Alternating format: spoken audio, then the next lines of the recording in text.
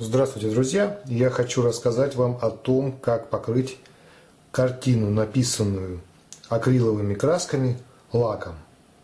Мы можем использовать художественный акриловый лак или для учебных работ я рекомендую использовать акриловый лак для древесины. И в том и другом случае лак матовый. Я открываю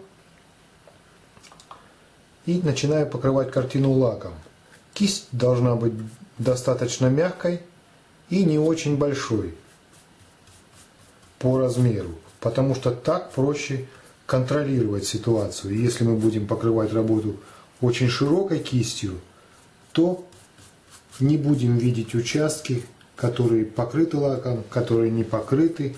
И, возможно, где-то мы работали жидким акрилом, и там нам нужно быть наиболее осторожными. Как вы видите, я делаю перекрестные движения кистью и на цвет слежу за тем, чтобы не пропускать участки, которые покрываю лаком. Не стоит делать движений, которые символизируют покраску какую-то. Это осторожные мазки, и я стараюсь делать их такими, чтобы проложив в одном месте, э, какое-то время не возвращаться туда, потому что лак должен схватиться, и это не позволяет краске ну как, сходить с места.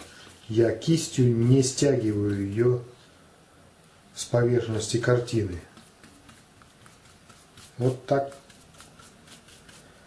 короткими мазками, э, довольно-таки густыми, я покрываю всю картину.